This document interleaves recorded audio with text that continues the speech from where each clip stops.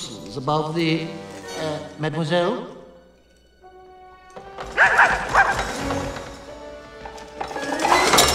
What's up there? Where? There? Oh, nothing. Absolutely nothing of interest at all in the West Wing. Dusty, dull, very boring. Ah, so that's the West Wing. Nice going.